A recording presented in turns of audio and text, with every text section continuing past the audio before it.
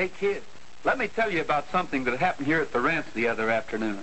It was just about dinner time, and Dale and I were just getting back from town. In fact, we were late, and Dale was worrying about making supper, so she jumped right out and hurried inside. And when she got inside the kitchen, she found all the kids making dessert with Jello instant pudding. Dale was just as proud as she could be, and they sure whipped that pudding up quick and easy, too.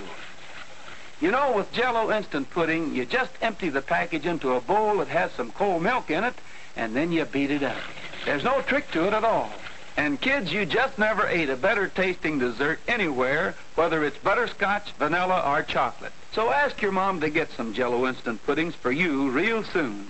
And then the next time she's busy, you can have the swellest dessert in the whole world all ready for her.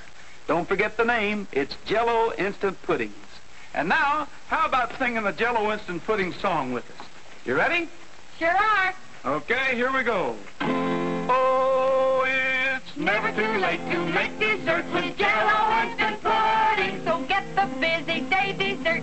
Jello instant pudding. It's easy a kid can make dessert with Jello instant pudding. So get the busy day dessert.